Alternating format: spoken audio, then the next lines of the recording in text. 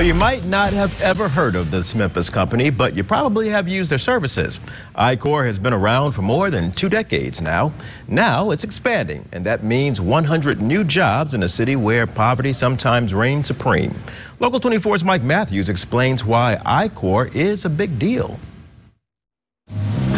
I'm just keeping beat, keeping beat with the music here at iQor and keeping beat with changes in jobs in Memphis and in Shelby County. A hundred new ones right here.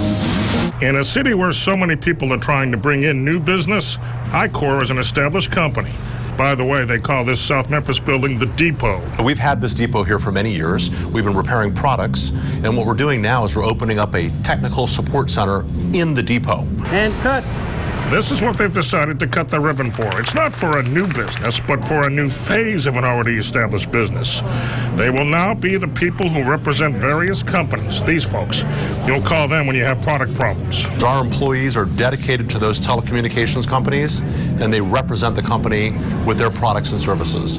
You would not know it was us. In fact, we wouldn't e would not even tell you that it was us on the telephone. More than 3,000 people work here, and this is the first time the company has taken a repair facility and added a telecommunications section. Customer service agents will get the info and you'll get the benefit.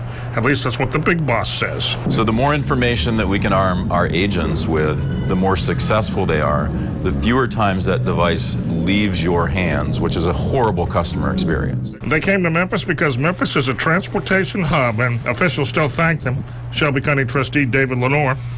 And so to the entire iQor team, I want to say thank you for making the choice to make this continued investment. iQor does a lot of things on the hush-hush, for example.